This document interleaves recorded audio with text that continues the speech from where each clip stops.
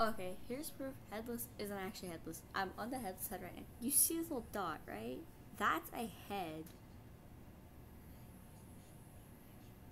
This is a head. That's a head.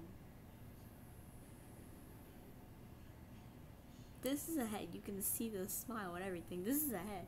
I'm not even joking. This is in 2D. This is in 3D. Okay, you see that little dot right there, right? You can kind of move it. Take it. Go and go like zoom in on it. Oh my gosh, it keeps disappearing on my on my screen. Zoom in on it and then look.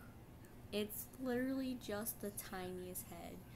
Do not spend over $200 for this item. It is not actually headless, it's just a really tiny head that is not visible to the human eye.